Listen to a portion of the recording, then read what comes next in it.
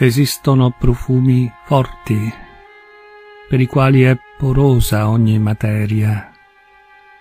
Si direbbe che penetrino il vetro. Apri un cofanetto giunto dall'Oriente, con la cerniera che stride e cigola, gridando, o un armadio di una casa abbandonata pieno dell'odore acre del tempo, polveroso e nero, e ci troverai una vecchia fiala memore, da cui balza viva un'anima risorta. Subito mille pensieri addormentati, funebri crisalidi fremendo dolcemente tra tenebre pesanti, ecco che spiegano le ali e prendono il volo, titti d'azzurro, lucidi di rosa, laminati d'oro.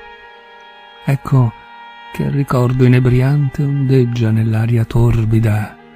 Gli occhi si chiudono, la vertigine rapisce l'anima vinta, la sospinge a due mani verso un abisso oscurato da miasmi umani, e infine la terra sul bordo d'un abisso secolare. Qui, odorante Lazzaro, che straccia il sudario, si muove nel risveglio il cadavere spettrale di un vecchio amore rancido, affascinante e sepolcrale.